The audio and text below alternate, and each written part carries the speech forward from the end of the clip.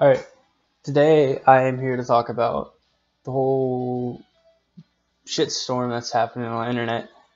Nobody knows me. They'll probably see this video years afterwards and be like, what the fuck, this dude's going after us?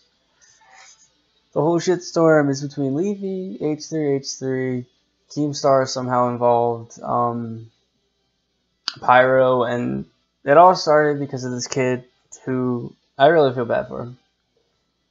He's autistic. He tried to make a good video. Leafy made a video making fun of him, didn't know about it. The kid basically responded, uh, yada yada, you know, I want to quit YouTube, this and that. And then everybody's fighting, as you all know.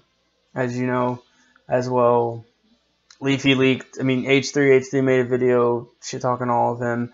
And then Pyro released a video of how H3H3 is actually backstabber making fun of him. And then it went to Leafy now, and Leafy's posting a video of all the conversation actually calling out H3H3. now, with that stuff, I understand.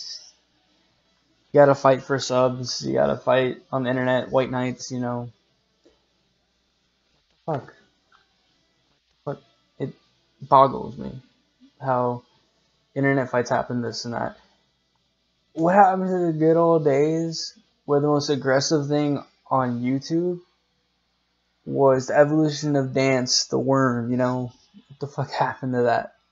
Um, but yeah. Anyways, there's a lot of fighting, and I gotta side with Leafy.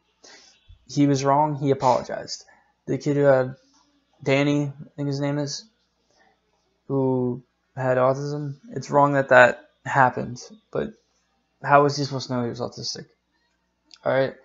It's bad to make fun of autism. I have friends with autism. And I bet if I talked to them, they would have said I wouldn't have reacted that badly, but that's because they're not as a serious case as the kid Danny, which I feel bad for him. You shouldn't have gotten death threats. Making fun of him is totally different from I'm going to kill your family, I'm going to kill you. That's not right. A community should not do that. I don't have any community, obviously, I'm nothing. But, um, you can show compassion, you can make fun of people. I call my friends all the time, like, you're a fucking idiot. Go kill yourself and stuff like that. Like, jokingly, not with love. Like, stab yourself, but not too fast. Let it be slow and seductive, you know? Fuck. what the fuck? Um, uh, but yeah. That wasn't right and everything. But I understand why it happened, and I think Leafy's actually a really good person in real life. I think he found that his opinion, very jokingly and satirical, is popular. It's a way to make money. I would love to do YouTube as a living for anything. That sounds like a really good way. You could do what you want. You can work when you want to. You can. Um, a lot of people after a while they can travel without worrying about money which is always good. I think everybody should have an opportunity to travel one place they want to in their lifetime. So, and, um, it's also a really different place now, YouTube as a whole. It's very greedy, like greedy.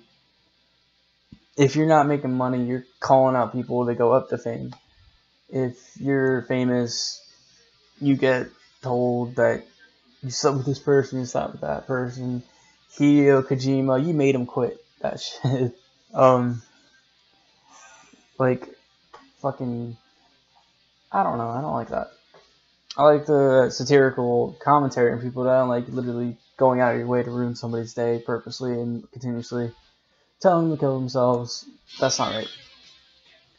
Um, I honestly love everybody I've ever met. There's only two people in the world I hate with a passion.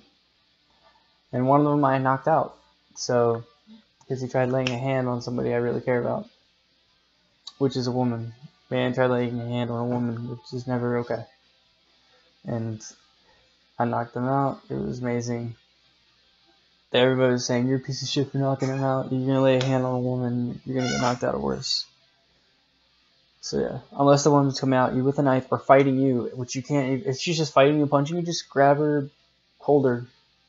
Don't hit her. But if she's coming you with a knife and you fight back, it's obviously you're gonna fight back. It's self-defense, All right. Um, yeah, I got this month's loot crate. By the way, this is how I'm ending it. Really, I got this month's loot crate, and you can add that or that. Oh, that was cool. I for one chose the Punisher. Cause come on, like I think he did a good job. Honestly, I know this is off topic right now, but like fucking Shane's voice changed. I followed him since The Walking Dead and everything. Even Mob City was amazing. And he does the Punisher now he has his own series maybe. Fuck, that's awesome.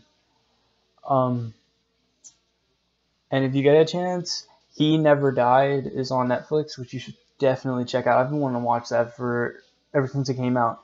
It has Henry Rollins, Steven Ogg, just amazing. All right, and um, Viva la Buffolution. The cringe. Uh.